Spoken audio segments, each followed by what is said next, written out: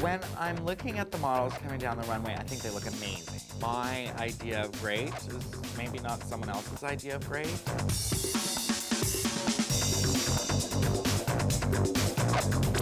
The whole first look was all wrong. I should have pumped in more color. I think I was so worried about time that I didn't know what to